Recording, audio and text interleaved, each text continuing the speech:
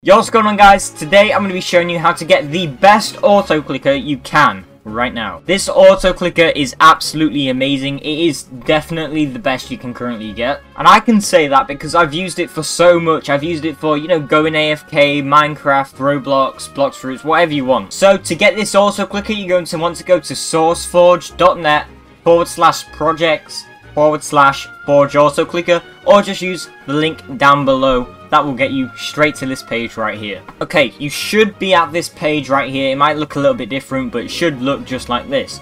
Now, you want to click download. Very simple.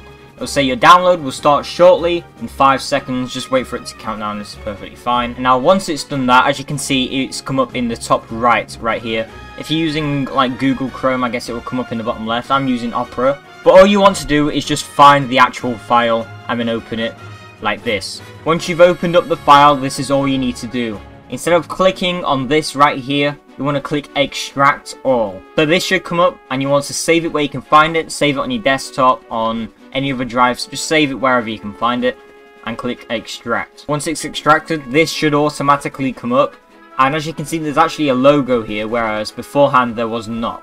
So you can tell that this is correct and all you have to do now is double click on it and it should load up. Now, this setup should come up. If you want to create a desktop shortcut, what this does, it basically just puts it on your desktop so you can click on it anytime, which I would personally recommend, so I'm going to have that ticked. Now, click Next and Install, and it'll begin installing it on your computer. Once you've done that, this should come up. You click Finish, and mean it should automatically load. Now, if you want to know if you've properly done this right, it should say welcome to Forge Auto Clicker, all of this right here, click OK, and it should start loading. Now, if this auto clicker gets like flagged on your computer as an, a virus or malware or anything like that, believe me, it is not. I've scanned it with tons of antiviruses, everything you can do with it, and it is 100% not a virus.